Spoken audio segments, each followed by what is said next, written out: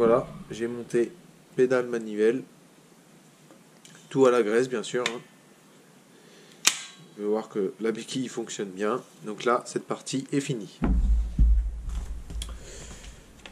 Ensuite, sur le PDF, donc là, c'est là où la partie euh, entre guillemets compliquée commence. Elle n'est pas compliquée, hein, c'est juste que faut rassembler à peu près toutes les parties qu'on a fait.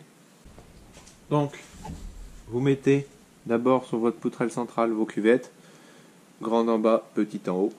Ensuite, vous mettez votre poutrelle dans votre pièce qui tient, qui la béquille. Votre axe préalablement euh, graissé. Ah, il y a encore du sable dedans, mon dieu. Sablage, oui. Était plus que conséquent. Ensuite, votre écrou.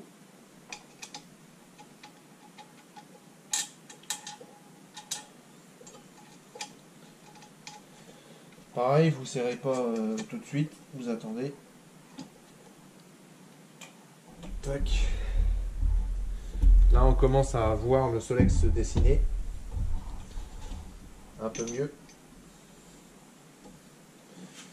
Je vais serrer un peu quand même parce que là, ça, c'est dur.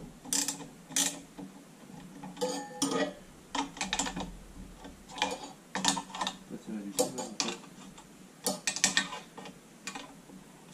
Voilà. Que ce soit un peu plus solide quand même. Ensuite, vous prenez votre poutrelle, donc droite ou gauche, on s'en fout, avec un axe comme ceci et une petite rondelle. Donc ça c'est une grande, ça c'est une petite. Voilà, je sais pas si vous allez voir. Voilà. Vous prenez une petite. Vous placez votre souille comme ceci. Tac. Et vous passez cette tige là par derrière.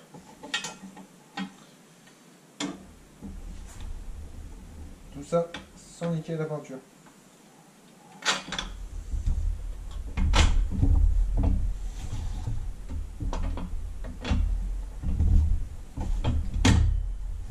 Voilà. Il n'est pas trop mal là. Ensuite, vous redressez cette partie. Pareil, vous redressez votre deuxième axe. Hop. Attention, pas de vis. Hop. Vous prenez cette fois une grande rondelle. Vous l'insérez là. Grande rondelle. Et vous passez dans le trou là. Voilà.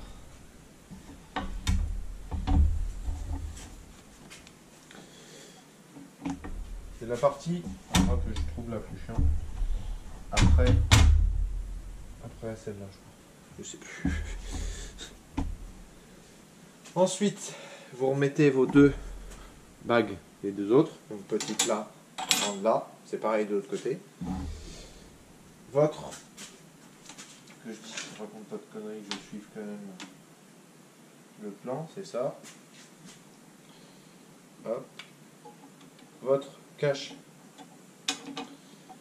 Euh, comment ça s'appelle ça? Cache pédale.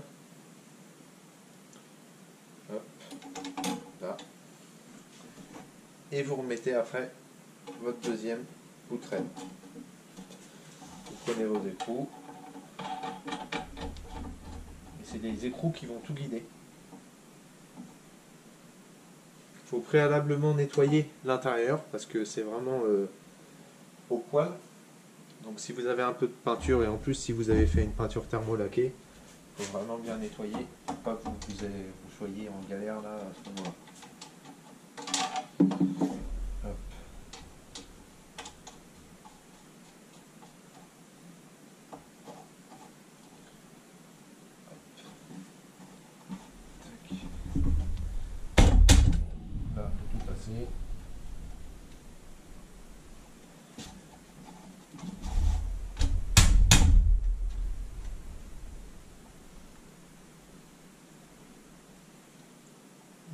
Rien encore. Vous approchez juste bien comme il faut.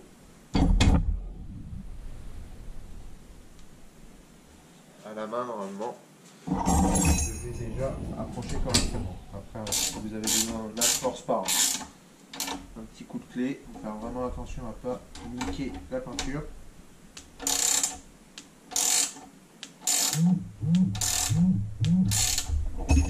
On va prendre son temps.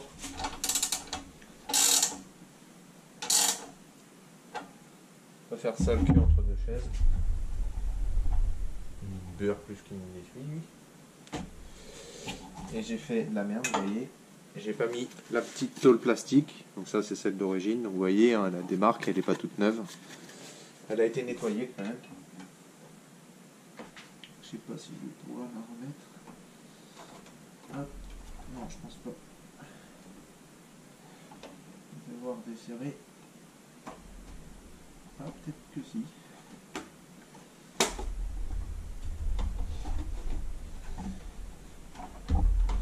Normalement. Hop.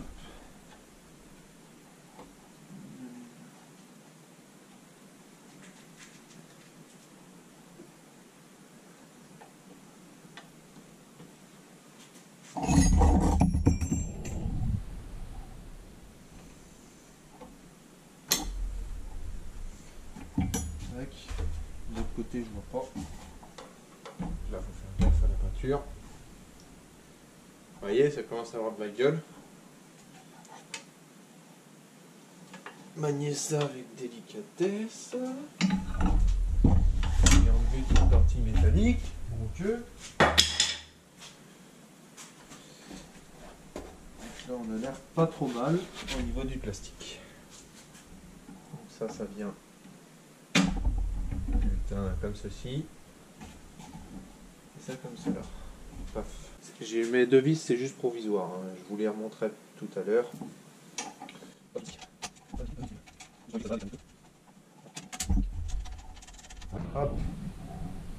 Voilà le bolide. Donc on va procéder au montage du renfort du porte-bagages. Donc ces barres là, avec un petit trou et un grand trou. Donc comme ceci, elles se placent. Les vis là sont des vis traditionnelles, donc vous pouvez les changer et mettre des vis inoxydables du commerce. Donc c'est du M6. Donc moi je mets une vis, deux rondelles et un écrou frein. Donc voilà l'écrou frein. Et voilà la deuxième rondelle. Donc je défais ça que j'avais mis préalablement. Tac. L'enlever totalement d'ailleurs. Mettre un- une poêle, un poil de graisse. Hop. Mettre. Tac. Prendre un renfort aussi, un support de garde-boue. Parce que le support de garde-boue se met ensuite après le le le renfort là.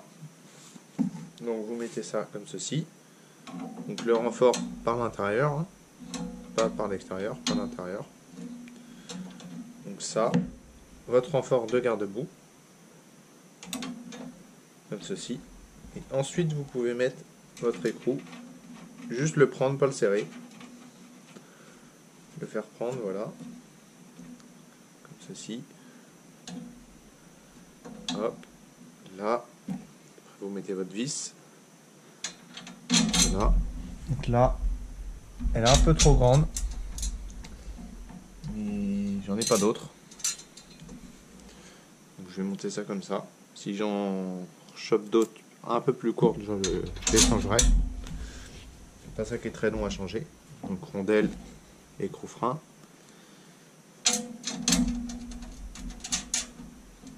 Hop. Ça, vous pouvez serrer par contre. Donc là, du coup, on est sur du pas de vis traditionnel.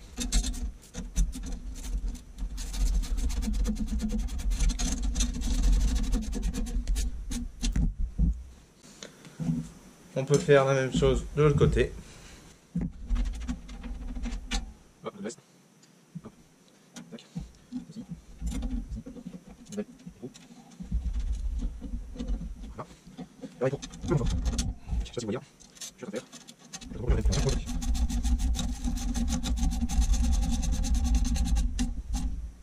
Voilà. Donc là, ensuite, on passe au, au garde-boue arrière. Pardon. Arrière. Moi, j'ai préalablement passé le câble. Donc là, j'ai mis plus moins pour être tranquille, pour pas euh, avoir une masse à usiner, enfin abîmer la peinture pour que ça fasse une masse. Donc voilà, c'est plus simple pour moi. Par contre, après, là, ça se voit pas la couleur. Et je repasserai en noir au niveau de la, la potence pour pas que ça se voie. Parce que rouge, c'est voyant quand même. Donc voilà. Donc là, il y a cette petite pièce là à mettre là qui tient la base du feu comme ceci. Tac. Je tordre un peu pour être en face des trous comme ça. Donc là, faut mettre d'abord la petite plaque là. Vous avez deux petites vis. C'est du 7. La petite patte vers le bas et le bout fileté vers le haut. Tac. Donc là, j'ai pas de, de rondelles. Je vais voir si j'en ai en stock. Donc je n'ai pas de rondelles en stock. Donc on met sans rondelles du coup. Juste les écrous. Voilà. À la main toujours. Donc là si vous euh, prenez ça en tant que masse, donc là je vais devoir euh, les redéfaire hein, pour mettre un petit, une petite cosse. Je vais redéfaire celle-ci pour remettre une cosse électrique. Mais ça je ferai plus tard. Ce sera un autre euh, tuto entre guillemets. Voilà. C'est pour ça que celle-là je vais pas la serrer dure parce qu'il y aura la, la vis de cosse. Tac.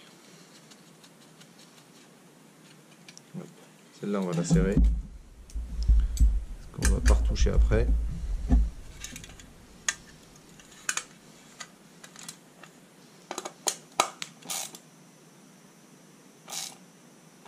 Voilà. Pareil, il n'y a pas besoin de serrer hyper fort. Là, il faut réussir à faire passer ceci. Tac. La petite bande proprement. Comme cela. Après, vous remettez un contre-écrou, du coup.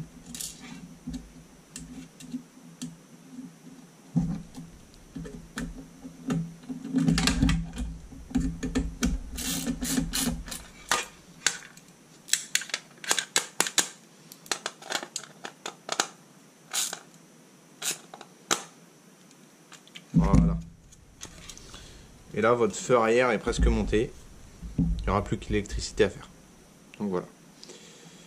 Regardez si je peux pas faire la masse quand même tout de suite parce que je suis en train de me rendre compte que ça va être plus, plus simple. Si je fais ça comme ça, je vais regarder dans l'Écosse ce que j'ai. Donc voilà. Je vais sortir la cosse avec euh, l'appareil euh, du futur.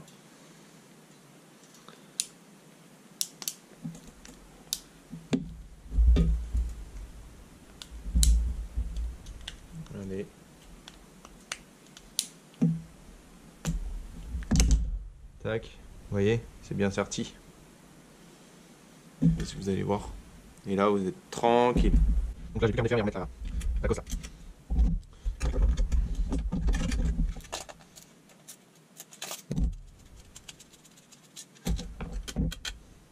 Là, du coup, on peut mettre un poil de base. Surtout sur la cosse, en fait. Et là. La glace, ça favorise un bon contact. Ça évite que ça s'oxyde. Au passage. C'est plutôt cool quoi. Tac. Tac.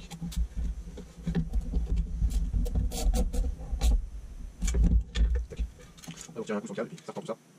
Tac. Et là, du coup, on s'en fera plus tard. Le rouge, on s'en occupe pas. Donc voilà, pour ce qui est du verre de bois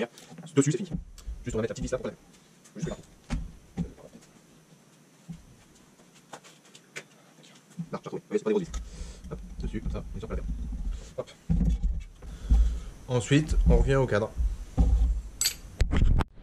Donc je vais remettre la vis qui tient le ressort de sel, donc le gros ressort. Après, on mettra plus tard les, les petits ressorts de sel.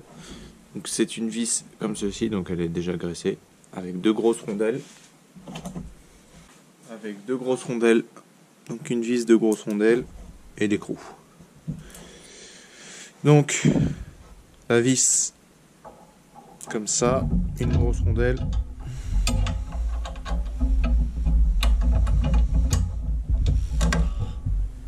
Deuxième grosse rondelle. Écrou. Il pas plus compliqué. Pas plus simple plutôt. Tac. Il y en a préféré le mettre dans l'autre sens. Bah, c'est un choix. Chacun fait comme il veut un peu. Il n'y a pas trop de, de règles pour ça. Et là on peut le tirer celui-là.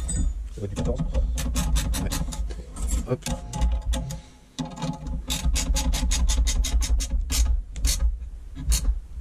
Voilà. Et là, où du coup il y a la suspension de sel. Donc voilà. Maintenant, on va faire. Donc on a fait la partie électrique là.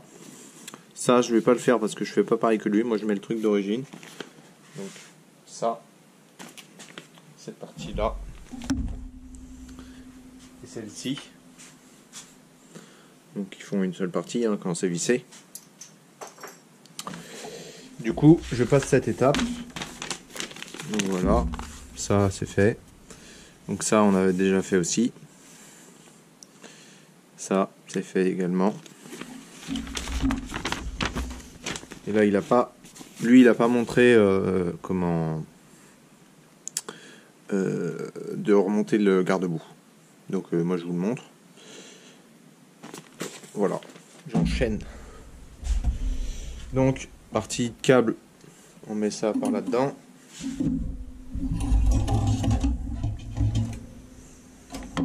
Tac, donc là, faut faire gaffe à pas abîmer la peinture. Tac, on va le poser doucement. Tac. Donc pareil, on n'utilise que des vis, euh, des vis neuves.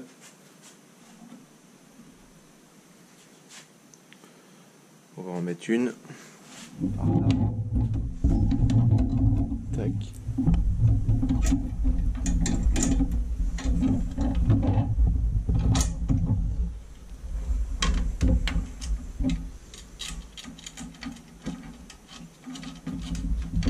On juste.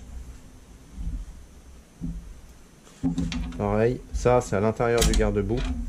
On va mettre l'autre avant. Ça va être mieux.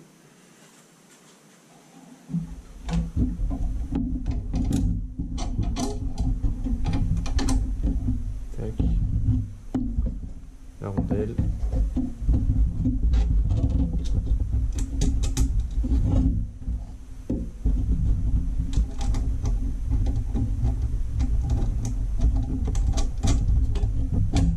Voilà. La fixation, j'ai regardé sur des photos, je me rappelais plus.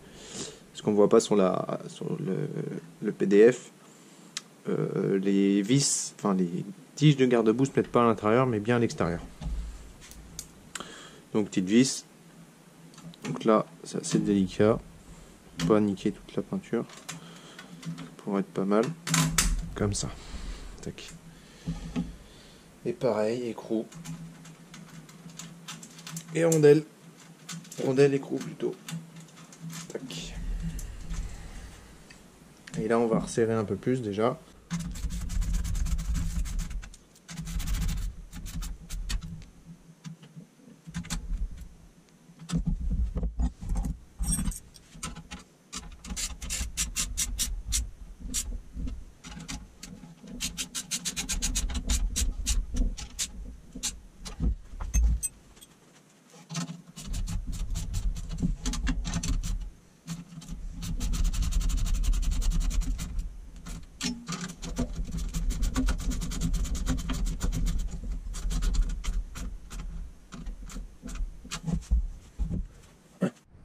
Là, voilà la fourche.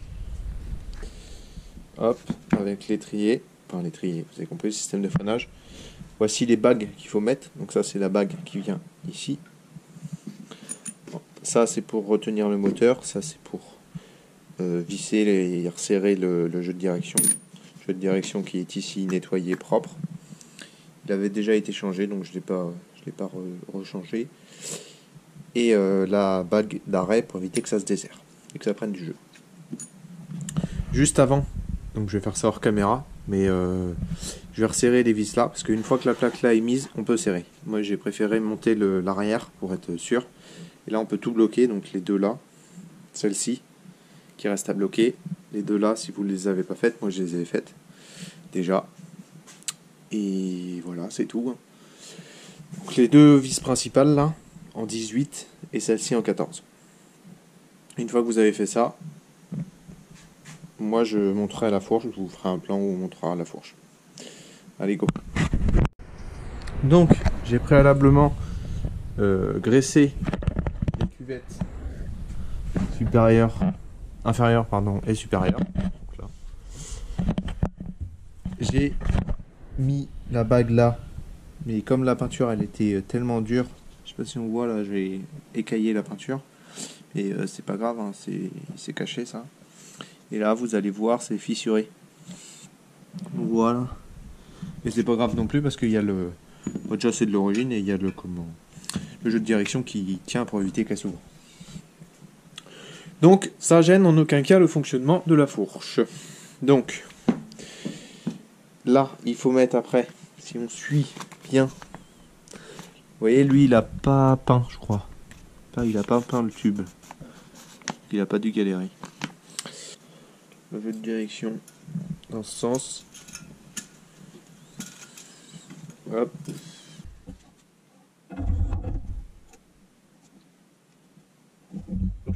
Ensuite, je mets ça. Le reste, on dessus. Là, c'est lié dessus. On va faire. On met ça. Et on change. Donc, on utilise ça. Ici, ça. Et on serre. Ensuite, on met la pièce avec les petites dents. Donc là, il y a une encoche. Dans la fourche, au-dessus, il y a une encoche, vous verrez. Hop, nickel. C'est pas top top. Ensuite, c'est. Petit. Ensuite. Pareil, on le. Sur des.